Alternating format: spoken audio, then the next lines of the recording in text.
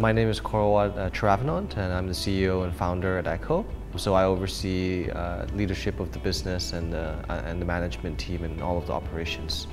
So Eko is a London and Bangkok based company and uh, you know we're just over 100 staff now uh, but we're hiring about 100 people more right now so we're, we're scaling up. Um, so we're you know in the SaaS uh, software industry.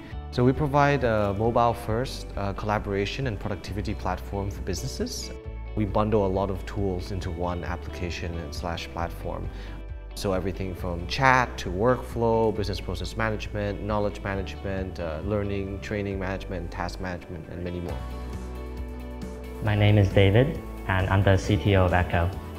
So we actually started off as being for large enterprises, uh, but now we, we started a huge push uh, at the end of last year to target SMEs, especially in Europe and the US. We knew that we wanted to be native to cloud from day one.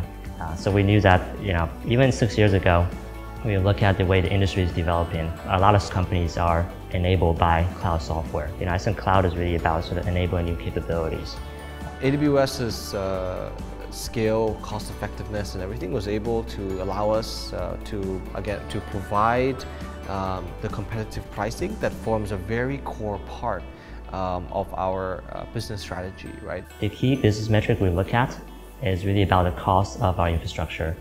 And uh, AWS is really beneficial towards that. So the biggest feature we use here is auto scaling. So whenever we hit peak workload, we'll auto scale up a ton of instances, sometimes a couple hundred or more. And when that workload disappears, we just instantly scale it down so we don't have to pay for it. So we only pay for what we use at all times. There are two ways that benefits our end customer. So one is the cost savings that we have through AWS, through our auto-scaling infrastructure, through the use of all the other AWS services, they definitely all translate back to cost saving for the customer. And uh, our customers, you know, they know that our solution compared to our competitor is one of the most cost-effective solutions. As a, as a SaaS business, for us, it's, it's critical um, to scale globally and, and, and quickly.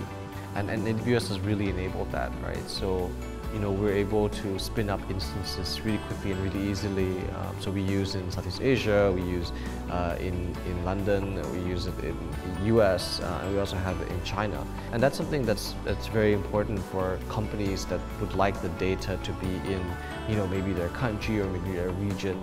And the ability to not have to pick a local cloud provider and have to rebuild so many pieces um, is really important towards uh, go-to-market, right? For scalability, um, for quality of the service, uh, and, and speed to market. I would say that AWS is definitely a startup enabler. So, you know, through its products, through its services, through its partner program, AWS has, uh, in every part of our journey, has helped us and pushed us along and, um, you know, really made us the startups that we are today. So over the last six and seven years, our experience with AWS has always been really, really great. You know, the support, um, knowledge and know-how and ecosystem provided uh, by AWS to us, um, even though we're still a startup and not may not be the biggest customer, is, is really, really uh, incredible. Um, and the services uh, and quality and reliability and scalability has really helped our business to accelerate um, and, and, and grow and succeed. Um, and so, so I'm very grateful.